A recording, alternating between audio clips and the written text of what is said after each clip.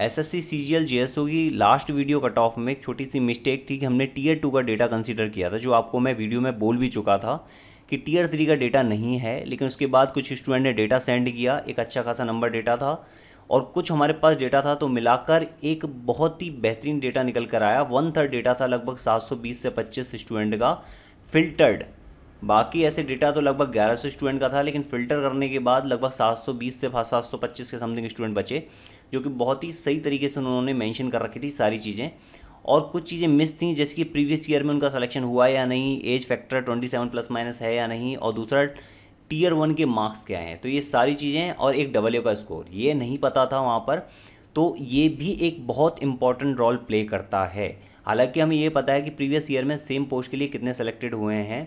आपकी प्रेफरेंस क्या होगी डीवी में? उसके ऊपर भी काफ़ी काफ़ी चीज़ें डिपेंड करती हैं। Age factor twenty seven plus minus पर ही डिपेंड करता है। कुछ बच्चे ऑडिटर चूज़ कर लेते हैं, कुछ नहीं कर पाते। उसका कारण एज फैक्टर भी होता है, कुछ की पर्सनल चॉइस होती है। डेटा की ऑथेंटिसिटी हम ये मान कर चलते हैं कि फ़िल्टर डेटा के बाद भी 90 परसेंट डेटा ही ऑथेंटिक होगा। बाकी 10 परसेंट ऑथेंटिक नहीं होगा after filtration good score in W का मतलब यहाँ पर यह है कि अगर कोई बच्चा डब्ल्यू में भी स्कोर कर रहा है परफेक्टली जो कि वहाँ पर मेंशन नहीं है तो डेफिनेटली वो डबल यू ही चूज़ करेगा बिफोर जे एस ओ ये श्योर बात है. ह्यूमन एरर पॉसिबल है और टायर वन के मार्क्स भी बहुत डिपेंड करते हैं क्योंकि अगर बच्चा टीयर वन में यू आर कैटेगरी से क्लियर है बाकी अदर जो टीयर टू है टीयर थ्री है, वो तो यू से डेफिनेटली क्लियर कर लेगा, ज़्यादा कट ऑफ़ नहीं जाती है। तो टीयर वन स्पेशली अगर क्लियर है तो डेफिनेटली वो यू आर की एक सीट लेगा और यू आर कट ऑफ़ पर वहाँ पर फ़र्क पड़ेगा। इसके साथ हमने टेंथ जो पॉइंट लिया है कंसिडर किया है, हमने क्या किया है, उन सभी पोस्ट को जो जीएसओ से ऊपर भरी जा सकती हैं, उनको प्योरली एलिमिनेट कर दिया उस डेटा को। उसमें से बयालीस सौ ग्रेड पे की डीए पोस्ट और छियालीस सौ ग्रेड पे और अड़तालीस सौ ग्रेड पे का डेफिनेट डब्ल्यू जो है वो कंसिडरेबल है, जिसके लिए यूआर में पाँच सौ पचास प्लस और ओबीसी में पाँच सौ चालीस प्लस पाँच सौ बयालीस प्लस फॉर EWS और चार सौ बहत्तर प्लस एससी और चार सौ पैंसठ प्लस एसटी के लिए हमने जो डेटा था उसको हटा दिया है। ये जो 550 प्लस है, ऐसा नहीं है कि ये बयालीस सौ की या छियालीस सौ कट ऑफ़ जाएगी। हमने उस चीज़ को कंसिडर किया है जिसमें बच्चा जीएसओ जैसी पोस्ट को अवॉइड करने की कोशिश करता है इस केस में, जब उसको साउथ ना मिल रहा हो। साउथ मिल रहा होता है, तब उस केस में वो जीएसओ पर आ जाता है। ऐसे लास्ट ईयर बहुत सारे केस देखने को मिले हैं। अब यहाँ पर मैं जल्दी जल्दी बता देता हूँ, जीएसओ और डबल के लिए कोई भी सी पी डी रिक्वायर्ड नहीं है, ये भी मैं बता चुका हूँ, ये प्रूफ है, आप देख सकते हो इसको। आप दो, चाहे मत दो, उसकी आपकी मर्ज़ी है। जी एस ओ और डबल डबल के लिए रिक्वायर्ड नहीं है बस। ये जो डेटा है, ये मैं सारी चीज़ डिस्कस कर चुका हूँ। ये जो है ना डेटा ये बहुत इंपॉर्टेंट है। इन जो फ़िल्टर डेटा था, उसमें से भी ये चीज़ निकल के आई। प्लस माइनस के एक दो नंबर का फ़र्क पड़ा है। बाकी कम्प्लीटली एवरेज स्कोर है आपके स्टैट्स के पेपर में, यानी पेपर थ्री में। और यही एक इंपॉर्टेंट रोल प्ले कर रहा है आपके डिफरेंस को क्रिएट करने के लिए। अब इसके बाद ये मैं ऑलरेडी दिखा चुका हूँ। यहाँ से, यहाँ पर जो ये लिस्ट है, इसका फिफ्टी परसेंट डेटा जो है रिसीव हुआ है। ये बच्चों ने फॉर्म फिल किया है, जो कि एक अच्छा खासा नंबर है और ये आपको हेल्प करेगा चीज़ों को अच्छे से पता करने के लिए। यहाँ पर लगभग 80 टू 85 स्टूडेंट ने पार्ट लिया है। फ़िल्टर्ड की बात कर रहा हूँ मैं फ़िल्ट्रेशन की बात की। इसके बाद ये जो डेटा है, ये भी बहुत ज़्यादा इंपॉर्टेंट रोल प्ले करता है। 193 स्टूडेंट ऐसे हैं जिन्होंने लास्ट ईयर जेएसओ और इस साल भी जेएसओ क्लियर किया है।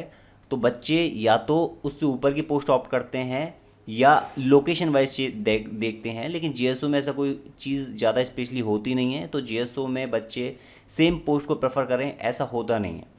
फिर भी 2019 के बच्चे, आप जब डीवी कराओ तो लास्ट में भी जीएसओ को मत भरना। ये मेरी आपसे रिक्वेस्ट है लास्ट में भी मत भरना, क्योंकि अगर आपने लास्ट में भरा, आपको पहले की नहीं मिली तो आपको अगेन मिलेगा। और फिर एक ही पोस्ट को बार बार लेने से कोई फ़ायदा नहीं होने वाला, कोई आपको मेडल नहीं मिलने वाला है। ये चीज़ आप ज़रूर शेयर करना ये जो जितना भी कैटेगरी वाइज में लिखा हुआ है कॉमन कैंडिडेट का डेटा ये वही हैं स्टूडेंट जिन्होंने लास्ट ईयर भी जे क्लियर किया है 2019 में फाइनल सिलेक्शन और 2020 की फाइनल लिस्ट की तरफ़ भी जा रहे हैं वो।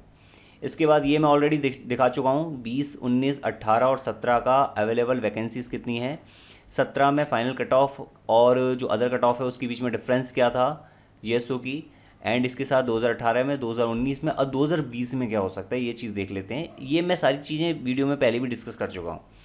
ये जो चीज़ है ना, ये अब आप देख सकते हो कि टीए और यूडीसी में आफ्टर टी थ्री के डेटा को कंसिडर करने के बाद जो फाइनल कट ऑफ़ है, वो लगभग ये है। मैं आपसे टेलीग्राम पर भी बोल चुका था कि पाँच सात नंबर पाँच नंबर कम कर लेना।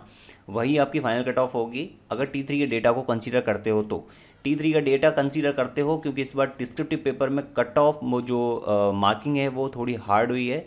तो जो उससे एवरेज मार्क्स है वो गिर गया है डेफिनेटली इसका इम्पैक्ट डेफिनेटली पड़ेगा ही पड़ेगा जी कट ऑफ़ पे। तो यहाँ पर ये जो आपको कट ऑफ़ दिख रही है अभी presently six zero six plus minus for U R five eighty five for E W S five eighty for O B C and S C for five one two S T for four nine eight यहाँ पर जो ई W S है ना, इसमें cut off और कम जा सकती है। उसका कारण ये है कि ई डब्ल्यू एस के मैक्स बच्चे जो हैं, वो यू आर में सेलेक्ट हो जाते हैं। तो जो हायर स्कोर हैं, वो जब यू में जा रहे हैं तो डेफिनेटली ई डब्ल्यू एस में फिर उससे कम स्कोर वाले बचते हैं। तो हो सकता है फाइव एट्टी फाइव से काफ़ी ज़्यादा डिफरेंस दस से पाँच नंबर का डिफरेंस आपको देखने को मिल जाए ई डब्ल्यू एस में।